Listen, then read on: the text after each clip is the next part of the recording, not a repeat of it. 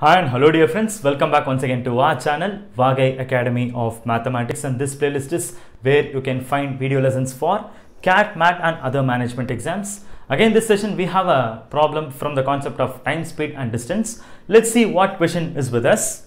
So we have an interesting question with us that too from the concept of races we have. So let's see the question.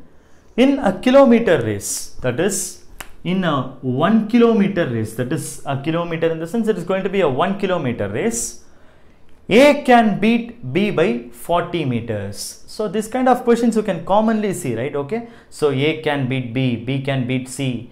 Like that you can see many questions here okay? So that based on the beating concept you might have seen many races question. So students are still having many confusions in that. What do you mean by that beating? Okay? So let's try to carefully understand that meaning also here through this problem. Fine? Yes yeah first of all we'll just note down the information. In a kilometer race a can beat b by 40 meters. So first we'll understand this part. In a kilometer race a can beat b by 40 meters. Now what do you mean by that?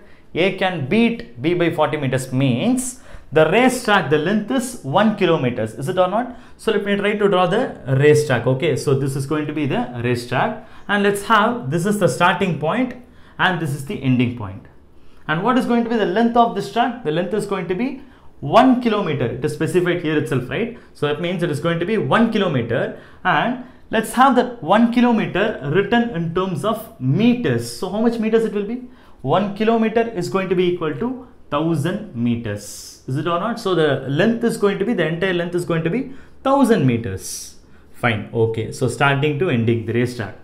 Now it is given A can beat B by 40 meters. So that is they are just comparing the two people A and B. What is happening?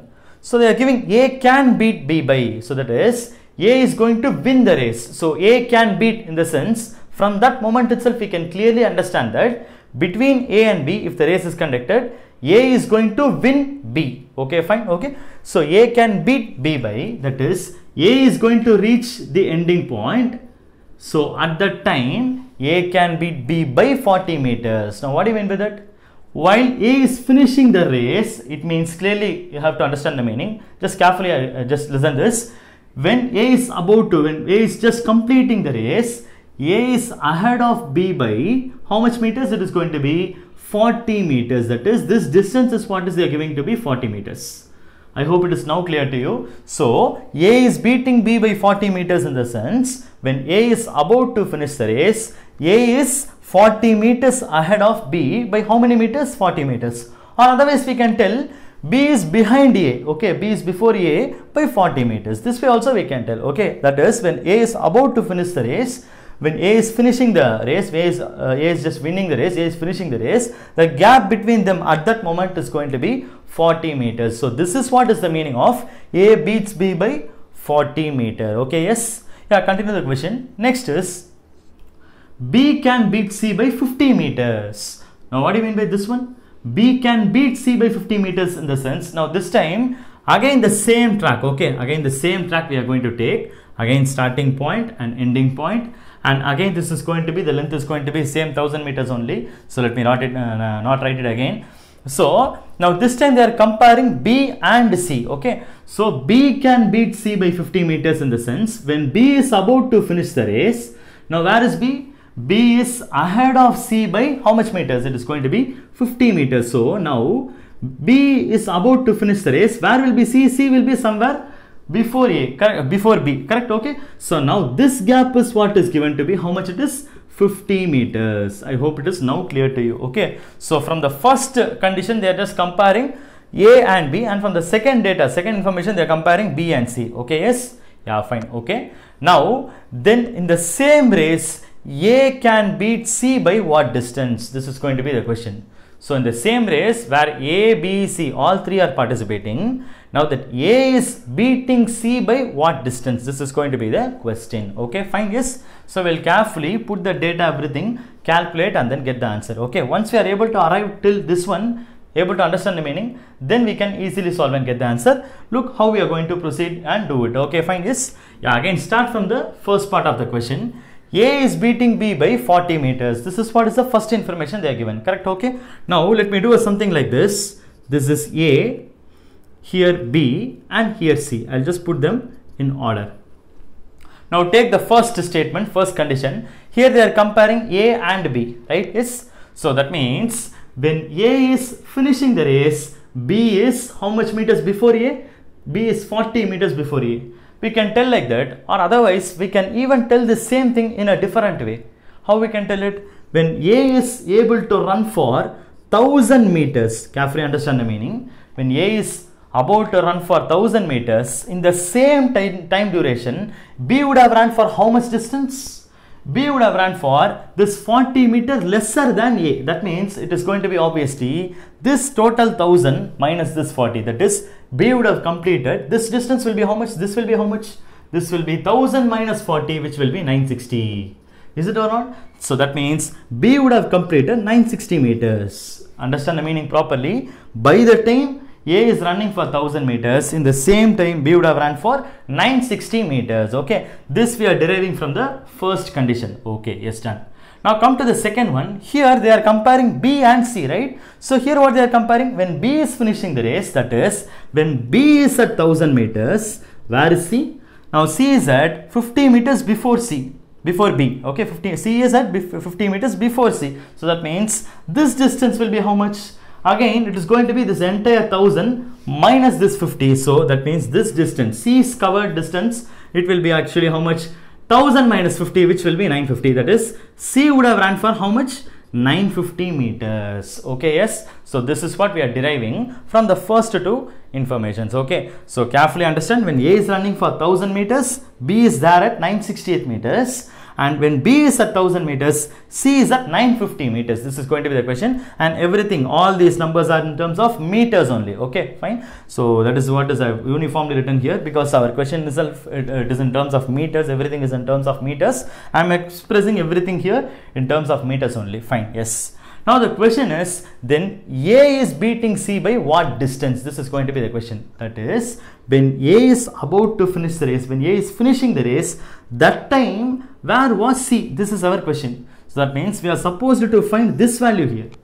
So this 950 is when B is finishing the race only C is at 950 meters. But what we want is A is beating C by how much distance? This is what we want. So in that case we want when A is finishing the race that is when A is a thousand meters where is C? That is what we have to find. So in that case what we will do? We have B's comparison right? B and C's comparison is given here right? We will use it to get the answer very simple. So when B is at 1000 C will be at 950 and we already know that when A is at 1000 B is at 960. Now the problem is like when B is at 960 where will be C? This is what we have to find it. Okay, yes. Now this unknown value is what we have to find. Just carefully understand when B is 1000 C is 950 when B is 960, what is C or where will be C? This is what we have to find. So again, this relation is going to be a direct proportion. I can just cross multiply to get this missing value. So what now I can do is I can just connect this 960 and 950, right? So that means we have to multiply these two numbers 960 into 950 divided by here we have 1000 so divided by 1000 so once we do this calculation we can easily get the value of C here. Yes, yes or no? So let's try to simplify this. So 960 into 950 divided by 1000. So first of all, we'll try to just cut these two zeros. Okay, so 960, 950, those two zeros with this zero. So we will end up with 96 into 95 divided by 10. So we'll calculate what is 96 into 95. I think I can do it here. Okay, this space is enough. 96 into 95. Let's try to do base multiplication with respect to 100 we will do. So 96 like minus 4 from 100 95 is like minus 5 from 100 so we can easily do this calculation. So just do 96 minus 5 it will be 91 and 4 5s are will be 20 so 9120 that's it okay? So 9120 this value will be 9120 let me continue it here. 9120 divided by 10 it is now like 10 so i can cut this. So the answer will be 912 so that is where is c now? C is at 912 meters that is when a is about to finish the race where c C is at 912 meters. So that means from this itself we can clearly get by how much meters A is beating C. Is it or not?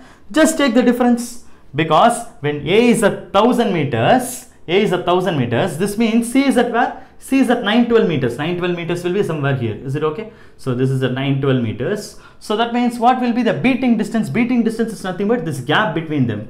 Or what we can tell is we can just do 1000 minus this 912 that we can do right okay so the beating distance will be a beats c a beats c okay let me write it clearly a beats c this distance will be equal to 1000 minus 912 so the answer will be 88 is going to be the answer for this question and our answer 88 is available at option c so option c 88 is going to be the answer for this question. I hope now you got some approach how to solve this question. And very importantly, at this point, I just wanted to insist one more point here. What is that is, see here, the moment we see this question, we have an important trap answer. It is there in one of these options. You would have realized it by now. So when uh, the moment you started to solve this question itself, the moment you see the list of options itself, you would have seen the trap answer. What is that important trap answer?